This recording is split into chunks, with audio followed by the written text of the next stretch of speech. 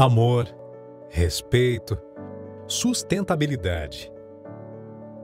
A família e Grupo Cabo Verde cresceu em busca da diversidade. Fazenda Santa Luzia é uma empresa familiar. Meu pai, cinco irmãos, José Coelho Vitor e os irmãos e os filhos.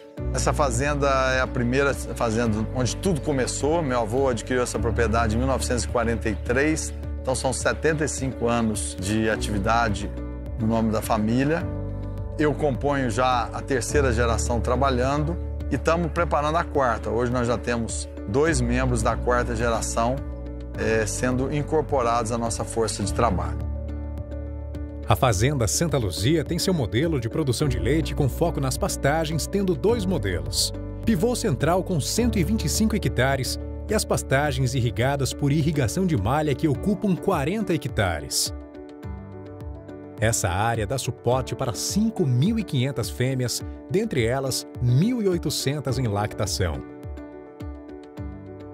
A ordenha é feita por carrossel, tendo alcance de 200 vacas por hora, chegando no total de 60 mil litros de leite por hectare ano. Com a busca do crescimento, veio a necessidade de preocupação com a sustentabilidade ambiental. Todo o investimento feito em sustentabilidade ambiental vai nos dar uma segurança e uma garantia de poder tocar a atividade por muito mais tempo, cumprindo com o nosso papel, que é usar o mínimo de recursos naturais e produzir o máximo, ou seja, a maior produtividade possível, usando o mínimo dos recursos naturais disponíveis para nós. Com 700 a 800 mil litros de dejeto hectares ano, a fazenda reutiliza todos os dejetos nas pastagens. Grande parte da demanda nutricional para a produção de forragem destinada à alimentação dos animais é proveniente da reciclagem de dejetos.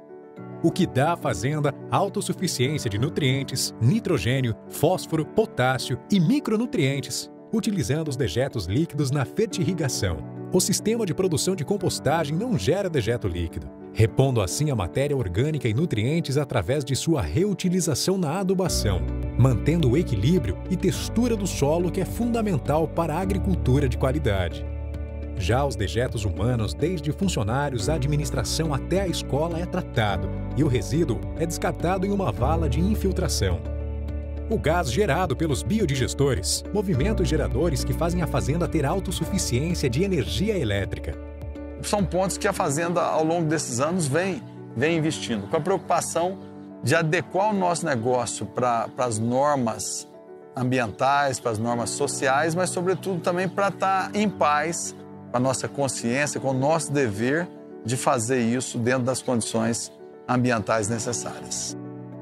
Além do acúmulo da água da chuva, que é utilizado na limpeza dos estábulos e no refrescamento das vacas, foi construída uma estação de tratamento de água, na qual a base do tratamento é o cloro, que também é produzido na fazenda. A água passa por decantação, floculação, cloração pré e pós-tratamento. E a gente sente que depois de tudo isso, é, hoje a, a, o animal nosso consome água de muito mais qualidade. Isso certamente tem reflexos positivos em toda a produção, não só do leite, mas da própria vida do animal. Todas as inovações hoje presentes fazem com que o leite da Fazenda Santa Luzia chegue ao seu consumidor com segurança para consumir um produto mais saudável, de origem conhecida, vindo de uma propriedade que respeita as questões sociais, o trabalhador, o bem-estar animal e principalmente todo o meio ambiente.